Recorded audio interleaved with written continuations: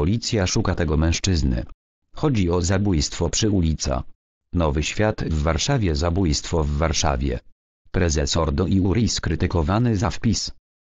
Policja szuka sprawców zabójstwa mężczyzny, zaatakowanego tydzień temu przy ulicy Nowy Świat w Warszawie.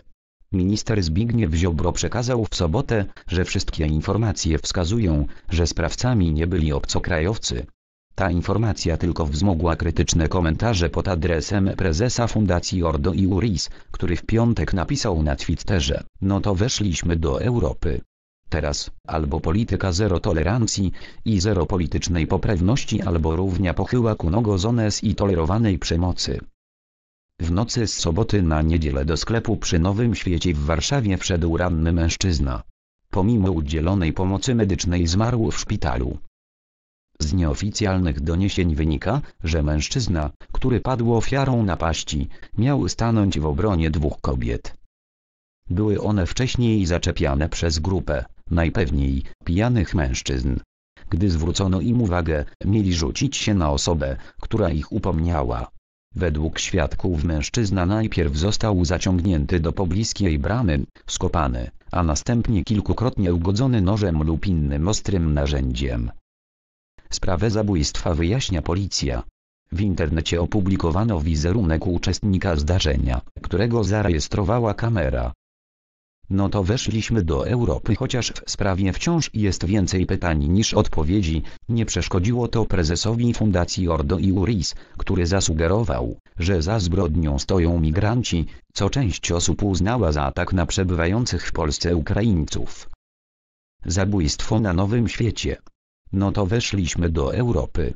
Teraz, albo polityka zero tolerancji i zero politycznej poprawności albo równia pochyła ku nogozones i tolerowanej przemocy. Jesteśmy w Ordo i Uris gotowi udzielić pomocy prawnej rodzinie ofiary. To ważny precedens, napisał na Twitterze Jerzy Paśniewski. Sprawcami nie byli obcokrajowcy tymczasem w sobotę minister sprawiedliwości Zbigniew Ziobro przekazał, że wszystkie informacje, jakie posiadamy wskazują, że sprawcami nie byli obcokrajowcy.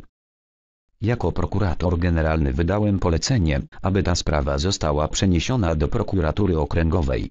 Został powołany zespół prokuratorów. Wydałem polecenie objęcia nadzorem prowadzenia tego postępowania przez bardzo doświadczonych prokuratorów prokuratury krajowej, poinformował Ziobro.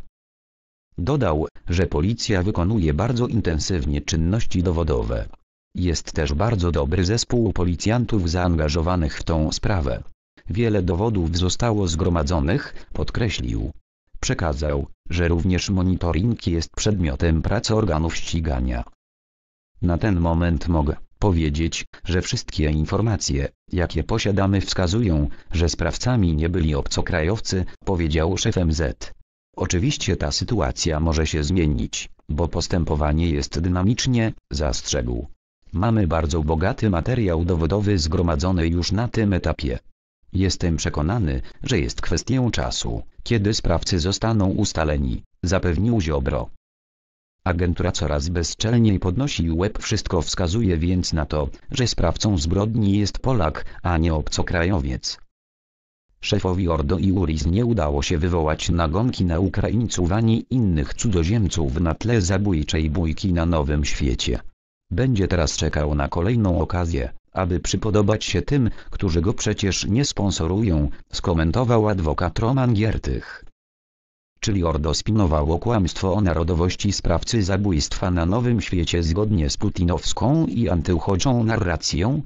Proszę Mariusza Kamińskiego o poważne zajęcie się przez Agencji Bezpieczeństwa Wewnętrznego tym środowiskiem, powiązaniami i finansowaniem. Trwa wojna, a agentura coraz bezczelniej podnosi łeb, dodał poseł Michał Szczerba. Czekam na waszą politykę zero tolerancji dla sprawców przemocy domowej. Ponad 38% kobiet, które pada ofiarą zabójstwa, traci życie z rąk swoich mężów lub partnerów. Jakieś deklaracje odnośnie udzielania prawnej pomocy ofiarom tych zabójstw czy jedziecie tylko na ksenofobii? Zapytała z kolei posłanka lewicy Katarzyna Kotula. Nigdzie nie wskazywałem narodowości w związku z nowymi informacjami sprawę ponownie skomentował również prezes Ordo i Uris. Śledczy twierdzą, że nieujęta osoba typowana na sprawcę jest pochodzenia polskiego. Wbrew nagonce, nigdzie nie wskazywałem narodowości. I wyjaśniałem, że w czasie wzmożonego zagrożenia konieczna jest jawność i polityka zero tolerancji. Tylko tak rozbraja się napięcia, napisał Jerzy Kwaśniewski. Głos w sprawie zabrał również publicysta Tomasz Terlikowski. Polak zabił Polaka, ale odpowiedzialność za zbrodnie grupa rzekomych patriotów zrzuciła na uchodźców i Europę. Czy teraz, od rzekomych obrońców zasad, padnie słowo, przepraszam? Czy w zaparte i będą czekać, przebierając nogami, by znowu coś zrzucić na obcych?